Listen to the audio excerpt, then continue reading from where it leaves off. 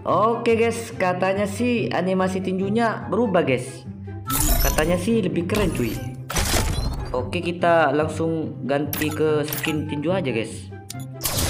Wih kayak gini lah. Oke kita tunggu animasi tinjunya keluar cuy. Mana nih? Lama kali. Wih. Widih, keren cuy. Gil sih.